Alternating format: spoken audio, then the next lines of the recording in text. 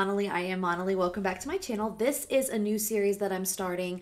Uh, it's called Meaning Behind the Music. And I used to uh, really like to do things like this when I was on the radio. I would go to concerts and I would interview bands either backstage or on the tour bus. And then I would really dig into why they wrote certain songs, why, you know, um, what was their inspiration behind certain songs. I just really enjoyed hearing the artists, uh, their talent, like how the process behind it, I guess, if you will. And so I decided to bring that into my channel, and I thought that would be kind of a kind of a side thing series to go along with my reactions.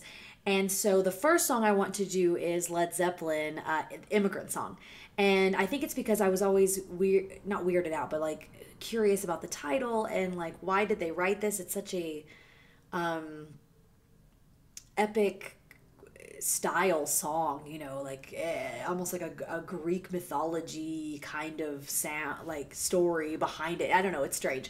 And I always thought, where did this come from?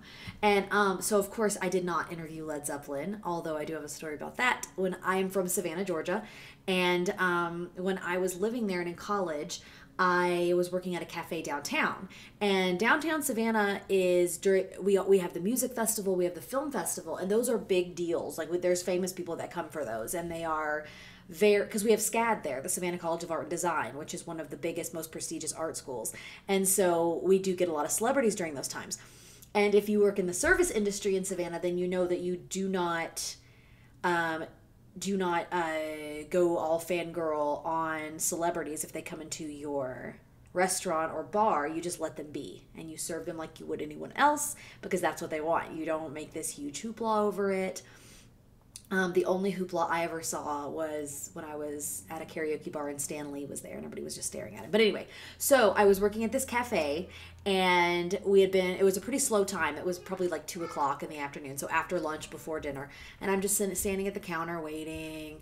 And I see this guy come in and he has on jeans and some alligator dress shoes and a blazer. And I was like, that has to be Robert Plant. It has to be. It looks just like him. And he had this like very young woman with him. And he walks up and he orders his coffee and he orders his um I don't even remember what he ordered now. You'd think I'd remember, but I think I was just kind of like starstruck. And um, he comes up and he orders, and I say, I'm sorry, I have to ask, are you Robert Plant? And he said, As a matter of fact, I am. And I was like, And I said, okay, thank you. I'll be right out with your order. And when I told my mom that, she was like, what did you propose to him for me? Did you get his autograph for me? I was like, no, because that is a big faux pas in Savannah. You can't do it. Well, he ended up coming in like two or three more times that week during the music fest, and I just let him be. And it was what it was, but there he was. Ah! So, anyway, immigrant song so I was doing research on this and finding interviews with Robert Plant and uh, from back then, from now, where this came from. And here's what I found. So, um, when they say "come from the land of ice and snow," I know I sound just like him. The land of ice and snow is Iceland, and so Led Zeppelin played there in the summer of 1970, June to be exact. And Robert Plant, who is the lead singer of Led Zeppelin, if you don't know that, what is wrong with you? no, I'm just kidding.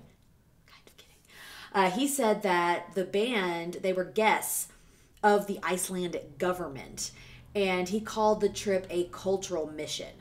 Don't know what was going on there in the 1970s. That's something else I should look up, I guess. But he called it a cultural mission. They were invited there by the government. And uh, the day before they arrived, all the civil servants in this part of Iceland where they were going went on strike. All of them. And the concert was going to be canceled. And so Led Zeppelin was really upset about this. They really wanted to play there. The government was upset about this. So the university actually all came together. The university students made this happen and they opened up one of their big concert halls for this concert.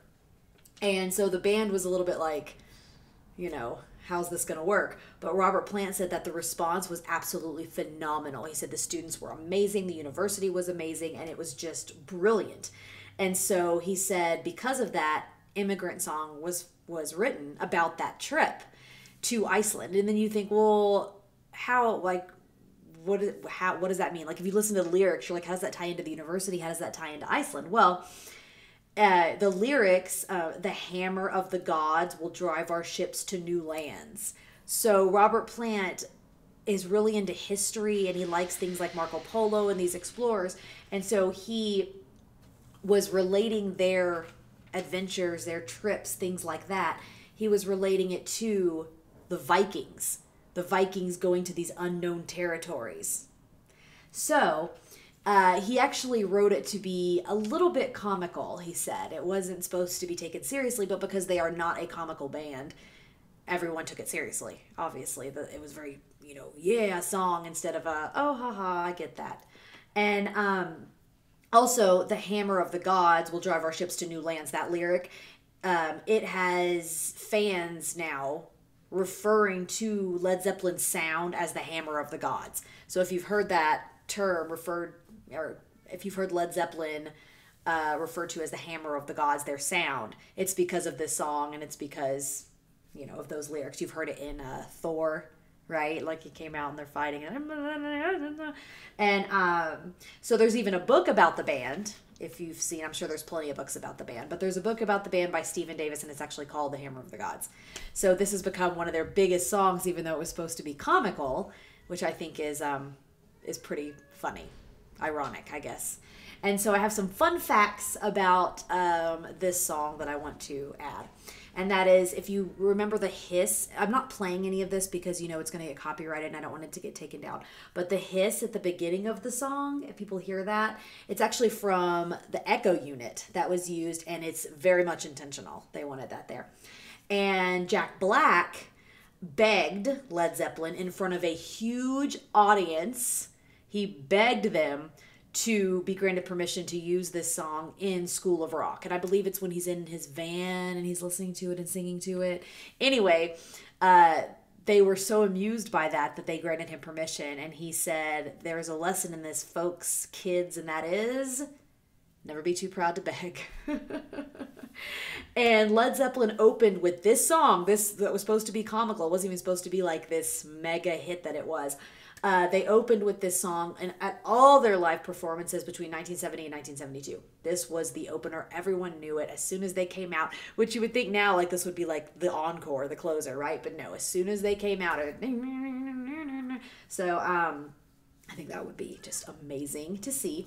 And last fun fact this is my favorite Led Zeppelin song.